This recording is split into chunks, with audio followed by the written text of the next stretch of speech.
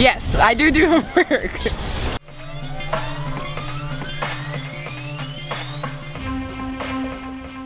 So I guess like, like my strategy. All right. so I kind of wanted to take it out pretty fast just because uh, there are a lot of different strategies in the 100 free because some people are better back halfers and some people are better at the front end.